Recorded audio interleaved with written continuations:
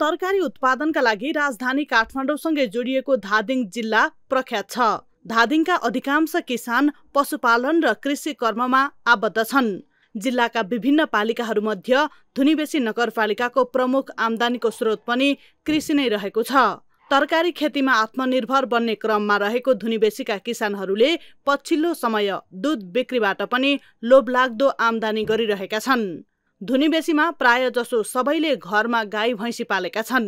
किसानहरू बिहानै बाल्टिन क्यान र पानी बोक्ने गाग्रीमा समेत दुध बोकेर सङ्कलन केन्द्रसम्म पुग्ने गरेका छन्।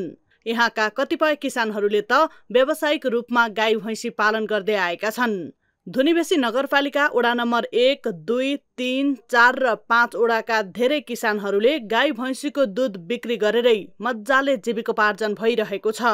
दुध बिक्री गरेर आत्मनिर्भर भएका मध्ये जीवन गौतम पनि एक हुन्। उनले तीनवटा उन्नत जातका गाई पालन गरेका छन् जसबाट प्रतिदिन एक्काइस लिटर दुध बिक्री गर्छन्। मैले चाहिँ अहिले गाई तिनवटा पालेको छु बाख्रा चौबिसवटा छ। तपाईँको गाई तिनवटाबाट चाहिँ एक्काइस लिटर दुध बेच्ने गर्छु। जे होस् राम्रै छ आम्दानी राम्रै छ आम्दानी हिसाबले हेर्नु भन्दा नि म चाहिँ तपाईँको एउटा पशुपालन प्लस चाहिँ तपाईँको पशु प्राविधिक पनि हो। गाउँघरमा परेको समस्याहरूलाई चाहिँ मैले हल गर्दै गइ नि गइरहेको छु अनि तपाईँको भनौँ न व्यवसाय प्लस पशु प्राविधिकको रूपमा म काम गरिरहेको जीवन गौतम जस्तै प्रतिदिन एक सय लिटर दुधसम्म बिक्री गर्ने श्यामबाबु खुलालले व्यावसायिक रूपमा दसवटा गाई भैँसी पालेका छन्।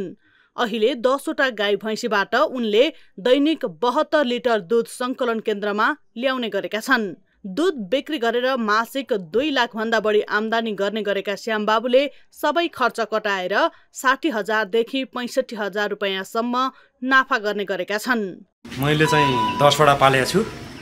अहिले चाहिँ तपाईँको बहत्तर त्रिहत्तर ल्याइरहेको छु। पहिला चाहिँ सय लिटर ल्याउँछु। आम्दानी चाहिँ महिनाको दुई लाख बिस तिस हजार महिनाको। खर्च खर्च चाहिँ पन्चानब्बे नब्बे। धुनीबेसी नगरपालिकाको धार्के जीवनपुर खानीखोला लगायत दसदेखि बाह्र स्थानमा दुध सङ्कलन केन्द्र रहेको छ। एउटा दुध सङ्कलन केन्द्रमा कम्तीमा सत्तरी जना किसानले दुध सङ्कलन गर्ने गरेका छन्। जसमा चार सयदेखि चार सय पचास लिटरसम्म दुध धुनीबेसी नगरपालिकाको एक सङ्कलन केन्द्रमा जम्मा हुने गरेको छ।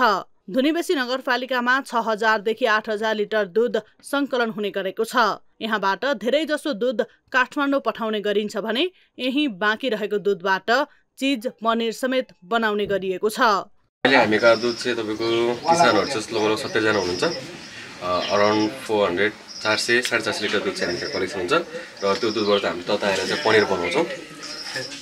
अनि अहिले हामीका डेली सञ्चालन गरेको चाहिँ तपाईँको लगभग लगभग तरकारी खेतीमा भन्दा दुधमा राम्रो आमदानी हुने र धेरै परिश्रम पनि गर्नु नपर्ने तथा जोखिम पनि कम भएकोले पछिल्लो समय धुनीबेसीका किसानहरू गाई भैँसी पालनतर्फ जोड दिन थालेका छन्। न्युज ट्वेन्टी फोर टेलिभिजनका लागि धादिङबाट टिभी जर्नलिस्ट बासु श्रेष्ठको रिपोर्ट।